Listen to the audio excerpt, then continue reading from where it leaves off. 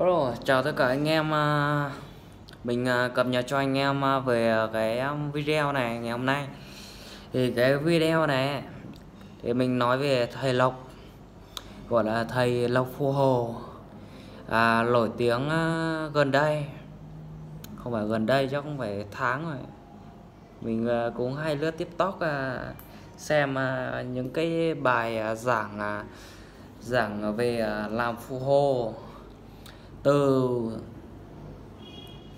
thầy phụ cho đến thợ chính thợ uh, thợ phụ cho đến thợ chính gọi là thợ phụ vữa đấy. Thì nói chung là thầy lộc của hồ là nói chung là thầy cũng chăm chỉ cho đến bây giờ mới được cái thành công như ngày hôm nay. Từ sách vữa sang đến đảo vữa xong đến uh, quét sơn xong đến à, à, thiết kế từng nội thất hầu như là lộc hồ hồ tự à, mình làm. Cái gì cũng phải cố gắng chứ đúng không?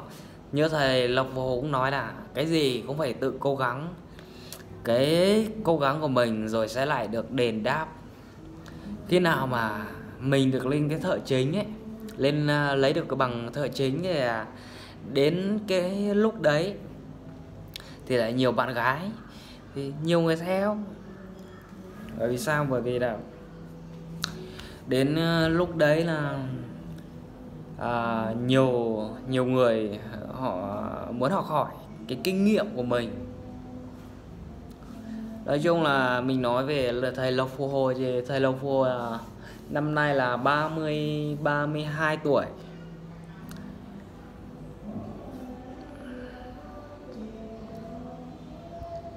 Ok nha mọi người nha. Hiện tại là thầy lộc hồ đã có người vợ và vừa mới sinh được à, đứa con đầu lòng. À, chắc là cháu cháu trai cháu trai đầu lòng. Để cái video này mình gửi đến à, thầy lộc phù hồ à, chúc à, bạn luôn luôn mạnh khỏe và thật nhiều gặp thật nhiều may mắn và thật nhiều niềm vui.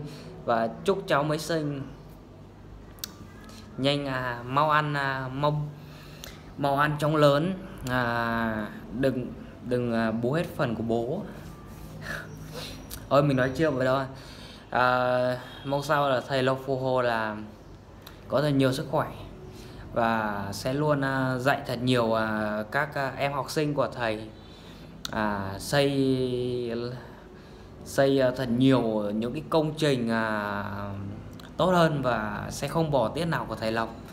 Đấy nói chung là mình cũng chỉ ờ, gửi lời chúc vậy ờ, đến vậy đến thầy Lộc còn những cái à, kiến thức của thầy Lộc mà chia sẻ và dạy cho các em học sinh ấy, thì à, cái đấy là do thầy lọc thì à, mọi người cũng biết là xem thường hay xem cái các buổi livestream của thầy lộc mà dạy mọi người à, à, làm xây như thế này này đấy chát như à, và đảo vữa như thế này này đấy. nó nói thức chi là một cái à, kiến thức của mình học hỏi một ngày một ngày làm thầy chỉ cả đời làm cha đấy. Đấy, một ngày làm cha chỉ cả đời làm thầy Đó. nói chung là mọi người những ai mà đã học à, học thầy lộc mà đi xây mà sập 18 công trình thì mình thì uh, chắc có khi là mình đoán thì cũng phải uh, bỏ hết uh, tầm độ mấy buổi uh, tiết uh, của thầy lộc uh. ok nha vậy nha mình ờ, gửi lời chúc sức khỏe đến thầy lộc và phô hồ nhá. Cảm ơn tất cả mọi người đã xem video của mình Nhớ like, subscribe và đăng ký ủng hộ cho mình. Cảm ơn tất cả mọi người rất nhiều.